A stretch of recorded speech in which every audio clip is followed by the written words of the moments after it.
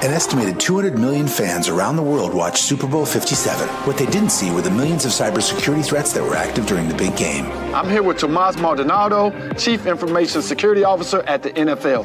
Thanks for being here, Tomas. Seems like every year the Super Bowl gets bigger and bigger.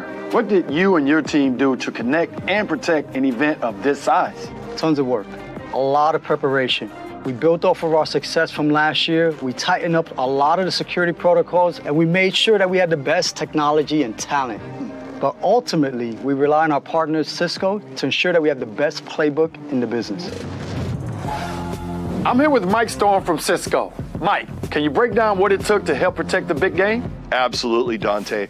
We walk into every project with a game plan. Many of the skills that we bring are the same ones that are needed to play on the field. Help me out. Give, give me an example. Take the quarterback position. Both of us need to see everything. Cisco uses its security technology to give the NFL maximum visibility into its network and multiple layers of defense.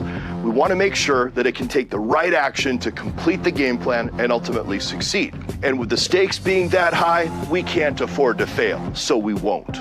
All right, let's talk stats. Stats we have. Tons of traffic was managed flawlessly. In fact, terabytes of fan traffic, petabytes of data that traveled the overall network, and within that, nearly 17,000 security intelligence events that were blocked. Almost 8,000 intrusion attempts were identified and analyzed, and believe it or not, there were over 400,000 connections that were blocked to and from blacklisted areas. Were there any attacks? Well, there were attack attempts for sure. We received millions of queries. Millions? Almost 100 million DNS requests were seen and analyzed by Cisco Umbrella, and of those, there were nearly 200,000 blocked. That sounds like a lot for one company to handle. It is indeed. So it's all about having the best personnel and talent in the right positions, just like football. At Cisco, we work with the brightest minds in the security industry across threat intelligence and research, customer experience, and of course, city state government. And most importantly, the NFL's IT security team. Now that the Super Bowl is over, what's the offseason look like for you guys? There is no offseason, Dante. The draft is right around the corner.